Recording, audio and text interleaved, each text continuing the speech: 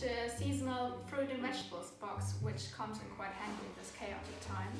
And we decided to make a curry with the ingredients they sent us, including Lily's turmeric ginger singer paste. Any good curry needs lots of onions. Onions on a small heat to caramelize them. Put in some biryani masala. Large tomatoes. Whilst the onions are caramelizing, we're gonna do the curry paste using the turmeric ginger paste as a base. Also the garlic in. Whole tablespoon of seasoning in a glug of sunflower oil.